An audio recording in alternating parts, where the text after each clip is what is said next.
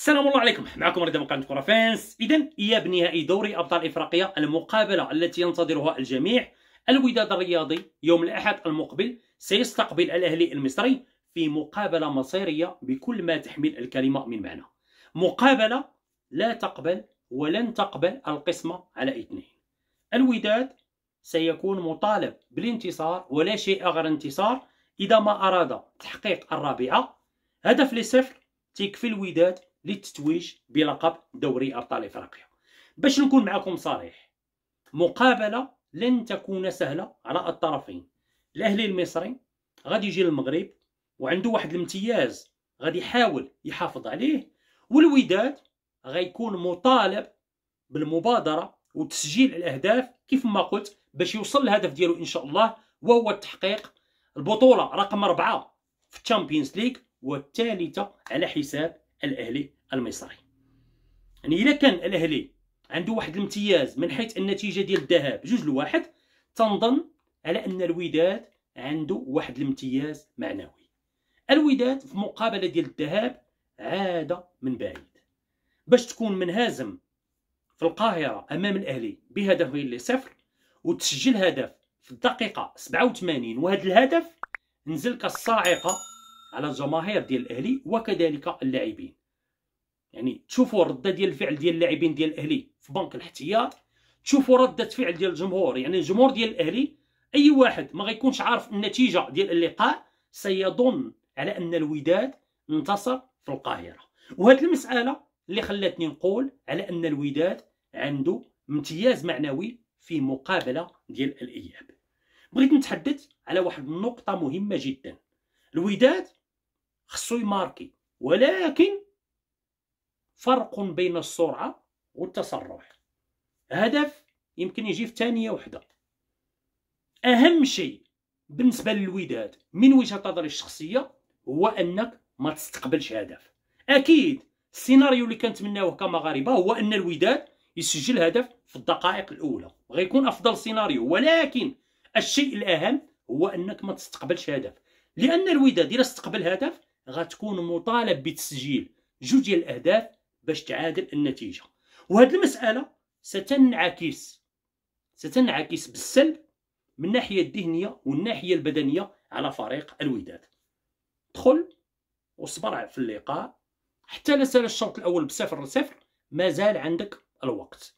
وأكيد مع حضور اللاعب رقم واحد وهو الجمهور الأمور ستختلف تماما. الجمهور ديال الوداد شفنا على أن في مقابلة ديال الذهاب بالرغم على أن 2000 اللي كانت حاضرة أمام واحد 75 ألف ولكن الجمهور ديال الوداد ما قصرش. الصوت ديالو كان مسموع. شجع منذ أول دقيقة لغاية آخر دقيقة وأنا تصنت أعوذ بالله من قولت أنا تصوت تصنت لشحال من معلق مصري أزعجتهم هذه المسألة. كيف يعقل على أن 2000 ديال الجمهور الصوت ديالها مسموع؟ أكثر من 75 ألف. بكل بساطة لأن الجمهور ديال الوداد جمهور منظم يعني منظم صراحة على جميع المستويات كيعرف كيدير يشجع الفريق ديالو وهاد المسألة كدير الفريق. كنتمنى من كل قلبي على أن اللاعبين ديال الوداد ينساو مقابلة ديال الذهاب. نسى مقابلة ديال الذهاب بالإيجابيات ديالها وبالسلبيات ديالها. فكر أنت كلاعب فكر على أن اللقاء ديال الأحد المقبل ماتش واحد match décisif. بحال العام اللي داز. ما لعبناش سيدي الذهب حنا لاعبين في الدار البيضاء ومطالبين باش ندخلوا لتحقيق الانتصار ولا شيء غير الانتصار. الوداد في مقابلة ديال الإياب سيظهر بوجه مختلف تماما عما شاهدناه في مقابلة ديال الذهاب خصوصا الشوط الأول. الوداد غيلعب اللقاء على أرضية الملعب ديالو أمام الجمهور ديالو مطالب بتحقيق الانتصار وكنا شفنا لما الوداد تيلعب ضد الطبيعة ديالو بحال اللي حدث في الشوط الأول في مقابلة ديال الذهاب الأمور تختلف. لما كتعطي الكرة للأهلي وترجع اللور بحال اللي كتهدي لهم اللقاء فوق طبق من ذهب. والوداد عودنا على أنه تيكون الفعل وليس ردة الفعل. المدرب فاندر بروك سيكون مطالب بالاستفادة من الأخطاء اللي ارتكبهم في الشوط الأول في مقابلة ديال الذهاب. وأكيد على أن تشكيلة الوداد ستعرف العديد من التغييرات مقارنة مع تشكيلة الذهب تنتوقع تنتوقع على أن المدرب يمكن يبدأ بالثنائية ديال زولا ويكون حداه اللاعب أبو الفتح. صراحة المستوى ديال اللاعب فرحان ما عجبنيش في المقابلة ديال الذهب التمركز ديالو في العديد من المرات ما كانش صحيح. الهدف الأول كيتحمل جزء كبير من المسؤولية ديالو خلاو الكرة للاعب الشحات وخلاوه يسونطري بكل أريحية وأيضا العصبية الزائدة في العديد من المرات. في الشق الهجومي تنتوقع أيضا على أنه يكون العديد من التغييرات. المترجي ما واجدش باش يلعب رسمي. هذه المسألة أصبحت واضحة وضوح الشمس. والمترجي ديال هذا الموسم ماشي هو المترجي ديال الموسم السابق. ثلاثيه اللي خصها تبدا في المقدمة اللاعب بوهرة وأناجم وصامبو. يعني تنظن على أن الثلاثي هو الأحق باش يكون رسمي في مقابلة ديال الإياب. الأهلي سيسترجع الحارس الشناوي بنسبة كبيرة وتنظن على أن هذه المسألة ما غاديش تعطي شي امتياز للأهلي بحكم على أن الحارس الآخر أيضا شوبير. شفنا على أنه في مقابلة ديال الذهاب لم يرتكب أي أخطاء بل لولا الحارس شوبير كان بإمكان الوداد على الأقل على أنه يسجل هدفين المقابلة كيف ما كتعرفوا سيديرها الحكم الإثيوبي باملاك تيسيما. يعني كان ضغط كبير من الإعلام المصري حول اختيار هذا الحكم وحنا أيضا كمغاربه لسنا براضين على هذا الاختيار هذا. نزيد لكم أيضا معلومة أخرى باملاك تيسيما يقيم بمصر. واختياره صراحة يطرح العديد من العلامات الاستفهام خصوصا على أن هذا الحكم عنده سوابق غير جيدة وسبق له وارتكب العديد من المجازر التحكيمية في حق الأندية المغربية. رسالة ولا نصيحة للاعبين ديال الوداد؟ نساو عليكم الحكم. ما تفكرش في الحكم.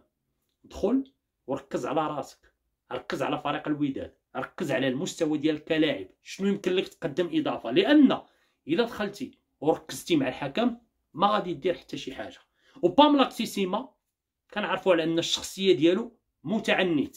كل ما زدتي احتجيتي عليه كل ما زاد ظلمك يعني نتمنى على أن الوداد يتعاملوا مع الحكم بطريقة ذكية جدا ويحاولوا على أنهم يفكروا في المستوى ديالهم ويفكروا كيديروا يسجلوا أكثر ما يفكروا في حاجة أخرى. يعني الإعلام المصري تحدث كثيرا حول هذا الحكم يعني البعض ديال الاعلاميين طالبوا الاهلي بالانسحاب بعض الاعلاميين طالبوا الاهلي بتقديم بلاغ احتجاجا على تعيين هذا الحكم والعديد. يعني العديد من الأخبار تؤكد على أن هذا الحكم يعني قيل من قبل على أنه سيعتزل بعد هذه المقابلة ولكن ما كاين حتى شي حاجة صحيحة. وشفنا من بعد مقابلة ديال الذهاب الاحتجاج الكبير من طرف الإعلام المصري على الحكم الليبي الحكم جريشة اللي هو حكم مصري أكد على أن عطية الله ما يستحقش بطاقة حمراء أكد على أن الشحات ما يستحقش ضربة جزاء. الفار في اللقاء ديال الذهاب كان عنده واحد الدور كبير لأن صراحة لولا الفار كانت غتكون واحد المجزرة تحكيمية في حق فريق الوداد خصوصا على أن الحكم الليبي أعلن على ضربة جزاء وهمية بعدما اصطدمت الكرة برأس الداودي بلا ما نساو يعني الخطأ اللي كان على المترجي في الهدف الثاني اللي سجلوا الأهلي المصري. يعني نزيدوا عليه أيضا الحكم عبد الفتاح خبير تحكيمي وعضو في اللجنة التحكيمية ديال الاتحاد الإفريقي اللي أكد أيضا بالحرف الواحد على أن عطية الله ما يستحقش البطاقة الحمراء. كنا كنعرفوا على أن هذه الأساليب مجرد وسيلة ضغط يعني باش الأمور في مقابلة ديال الإياب تمشي في واحد المسار كيف ما قلت اللاعبين ديال الوداد خصهم ينساو هاد الأمور كلها ويفكروا في هدف واحد كي خصنا ننتصروا على الأهلي. كيفاش خصنا نربحوا باش إن شاء الله نحققوا الرابعة والثالثة للوداد على حساب الأهلي المصري. غتكون عندي إن شاء الله حلقات أخرى ونزيد نهضر فيها بتفصيل ونعطيكم فيها معطيات أخرى. التوقع ديالي لنتيجة اللقاء تنتوقع على أن الوداد سينتصر إن شاء الله بهدفين لصفر. هذا هو التوقع ديالي. أهم منه نبغي نعرف الآراء ديالكم في التعليقات والتوقعات ديالكم. خليوها لي ونتناقشوا كما هو العادة بشكل ودي. إلى عجبتكم الحلقة دعمونا بلايك واشتركوا في القناه باش دائما نشوفكم جديده أول بأول. كان معكم رضا من قناة كره السلام عليكم.